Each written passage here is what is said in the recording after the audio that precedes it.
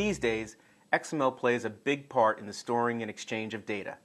In this course, we'll explore SQL Server support for XML and how it's improved since being introduced over a decade ago in SQL Server 2000.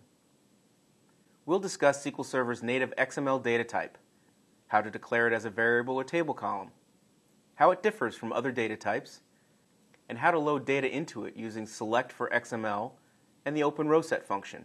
You'll learn the importance of indexing XML columns and that SQL Server supports multiple types of XML indexes, including primary, secondary, and the new Selective XML Index, included as part of SQL Server 2012 Service Pack 1. We'll talk about XML schemas, how they're used to validate XML documents. We'll talk about SQL Server's support for lax validation, how to register XML schemas, and associate them with XML columns for validation. To wrap up our discussion of XML schemas, we'll take a look at several catalog views available to you specifically for retrieving information about registered XML schemas. But storing XML data is only half the story. We also need to get the data back out, and here you'll learn how to query XML data.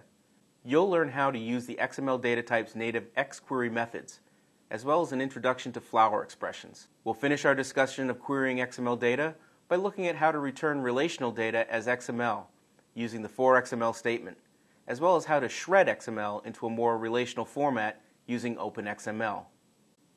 Finally, we'll wrap up with some best practices and points to consider when you're deciding if storing data as XML is an appropriate solution for your database application.